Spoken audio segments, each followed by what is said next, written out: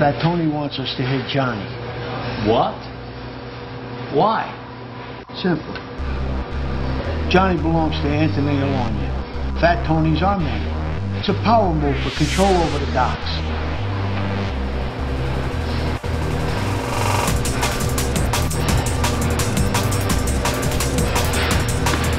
Damn it, Franco. Jesus Christ, I just got out of jail. Johnny won't go down that easy, you know. Let me fucking think about it. I'll call you.